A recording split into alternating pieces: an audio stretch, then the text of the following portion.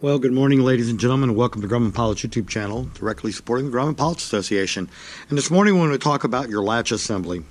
And specifically, I want to talk about the striker post. Now, this is on a customer's airplane, and we're not going to change this because it obviously works for him. This is a, an aluminum post that someone has made that's bolted in by an AN3 bolt. So they cut some 1032 threads in there, and that's what holds him. And then your arm comes and grabs that.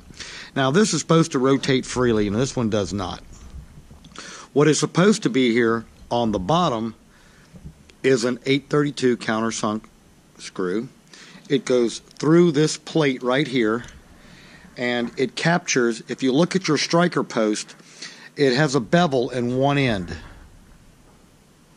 And that bevel is for an 832 rivnut to sit perfectly in there. Then the screw comes up from the bottom.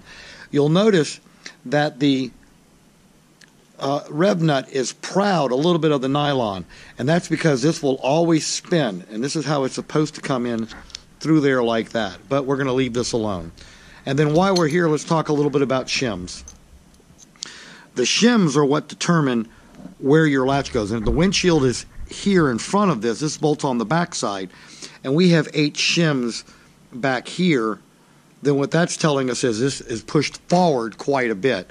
And what we're going to have to do with the new seals is we're going to have to move some of them to the forward side so that the canopy will, the latch assembly will move forward a little bit with respect to the bow to be able to grab the canopy to the new seal. So when you take your airplane apart, remember how many shield shims are on the front, how many are in the back, and what your um, your post stack is supposed to look like. It's a nylon nut, a rivnut, and an 832 countersunk screw.